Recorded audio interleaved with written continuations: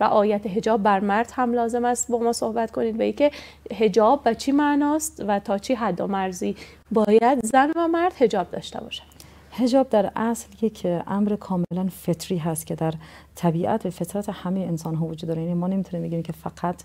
مسلمانان یا همچون بر اساس عقاید اسلامی خودشون گرایش به حجاب و پوشانندن بدن خودشون دارن. از اساسا انسان کلا در فطرت خودش ای میل و کشش رو داره. حتی ما در ادیان دیگه در فرهنگ های دیگه می‌بینیم بر اساس اون اقتضای جامعه خودشون افراد تا یک جایی تا یک حدی رو به پوشش و هجاب اعتقاد دارن بله. حتی ما می‌بینیم که در مکاتب دیگر در فرهنگ های دیگر یک سری قوانین بسا سختگیرانه تر از اسلام که حالا نامش در آمده که اسلام سختگیرانه هست رو در خصوص پوشش و قوانین